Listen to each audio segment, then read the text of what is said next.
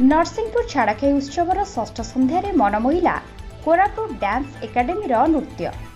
ନରସିଂହପୁର ଛାଡ଼ଖାଇ ମହୋତ୍ସବର ଷଷ୍ଠ ସନ୍ଧ୍ୟାରେ ମୁଖ୍ୟ ଅତିଥି ଭାବେ ଯୋଗ ଦେଇଥିଲେ କଟକ ଜିଲ୍ଲା ପରିଷଦ ଅଧ୍ୟକ୍ଷ ଶ୍ରୀ କିଶୋର ଚନ୍ଦ୍ର ମିଶ୍ର।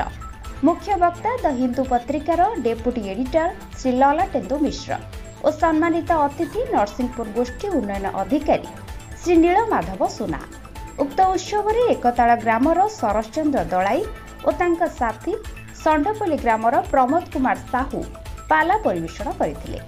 ଏହା ସହିତ ନରସିଂହପୁରର ଗୁରୁକୃପା ଡ୍ୟାନ୍ସ ସ୍କୁଲ ଓ କୋରାପୁଟର ପ୍ରେରଣା ଡ୍ୟାନ୍ସ ଏକାଡେମୀ ଦ୍ୱାରା ଆକର୍ଷଣୀୟ ନୃତ୍ୟ ପରିବେଷଣ ହୋଇଥିଲା ବେଳେ ବାଲେଶ୍ୱରର ମେଲୋଡି ଅର୍କେଷ୍ଟ୍ରା ଆଟ୍ରାକ୍ସନ୍ ଓ ପରିଶେଷରେ ଯାତ୍ରା ଶ୍ରୀକ୍ଷେତ୍ର ଗଣନାଟ୍ୟର କଳାକାରଙ୍କ ଦ୍ୱାରା ନାଟକ ଅଦିନ କୁହୁଡ଼ି ପରିବେଷଣ କରାଯାଇଥିଲା। ଏହାକୁ ଦେଖିବାକୁ ଦର୍ଶକଙ୍କର ପ୍ରବଳ ଭିଡ଼ ପରିଲକ୍ଷିତ ହୋଇଥିଲା।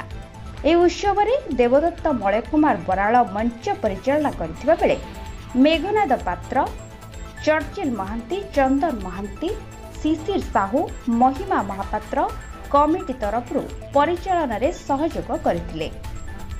ନରସିଂହପୁରରୁ କାହ୍ନୁଚରଣ ନାୟକଙ୍କ ରିପୋର୍ଟ ଅଭ୍ୟାସ ସମାଚାର।